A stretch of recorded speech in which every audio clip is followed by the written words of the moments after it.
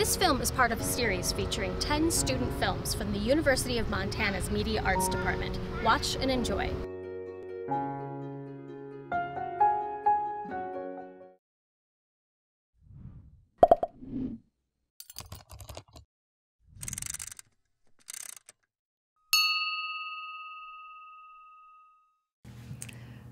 I'm Rachel Stevens, and I directed 20 Nothing. And we did that film through the International Documentary Challenge. It was a long haul, but only in five days. And we decided as a team that we wanted to do something about a person, a profile. And the subject in our film, 20 Nothing, is Evan Smith, who is actually my boyfriend. And he has one eye. We all knew that he had one eye.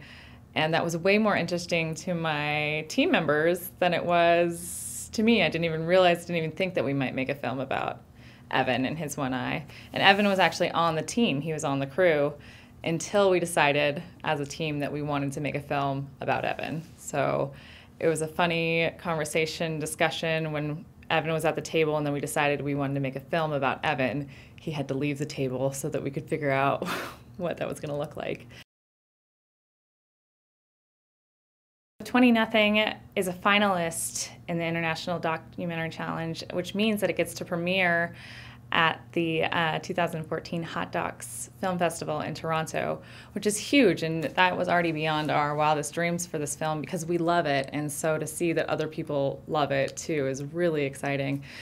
And we want to see it go further. We want we're hoping that maybe it'll win an award at the at the film festival, or maybe uh, we can submit it into other film festivals. We're just so proud of it, and we think that it can go far, and we think that people would really like to see it and will really love watching it.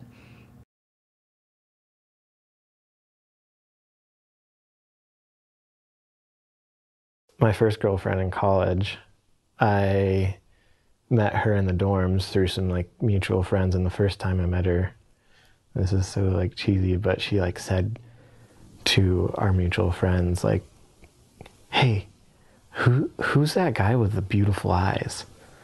And then they're like, "Evan? Oh, he has one eye." And she's like, "What?"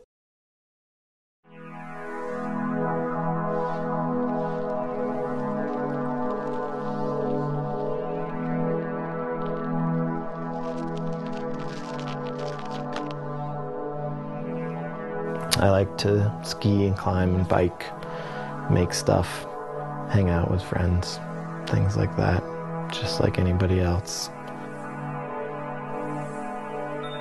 I kind of like it. It makes me unique, you know.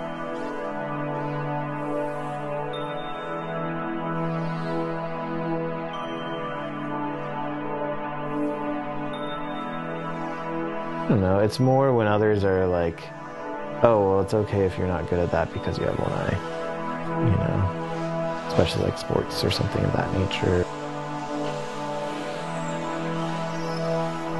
And so, like, when I play sports and, like, you know, I think I've been playing with this hockey team. This is my second season, and I think half of them don't even know that I only have one eye, you know? I think everybody cares about how they're perceived.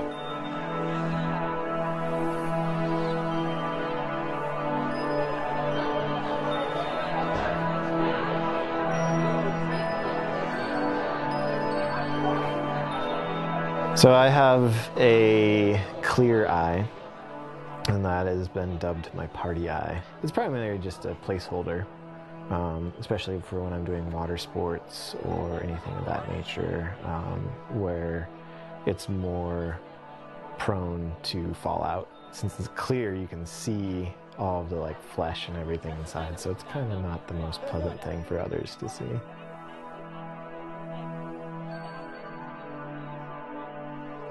The first thing I remember is completely after it, and that is eating a quesadilla with tomato soup.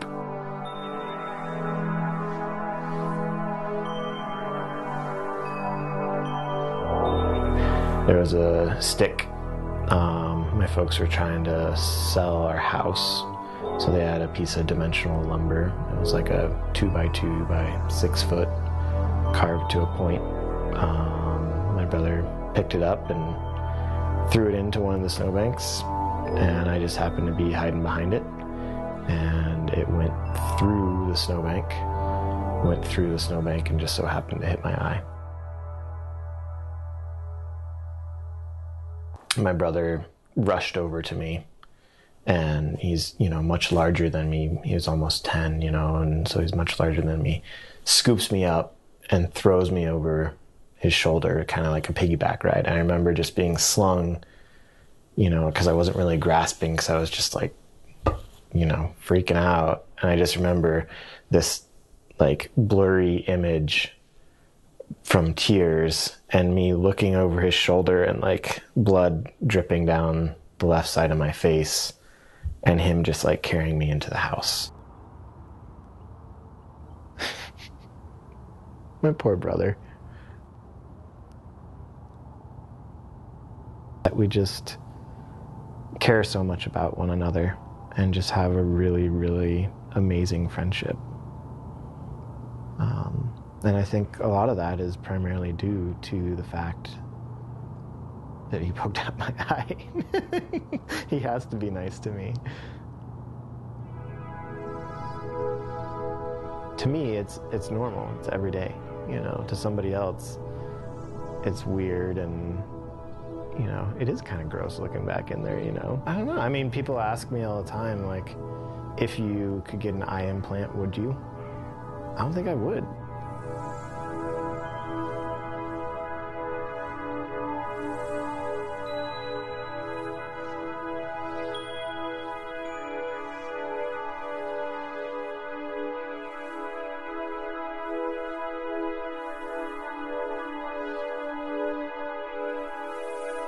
Growing up in a small community, everybody knew that I had one eye. You know, I just really identified with it because it was what made me different, what made me unique and me.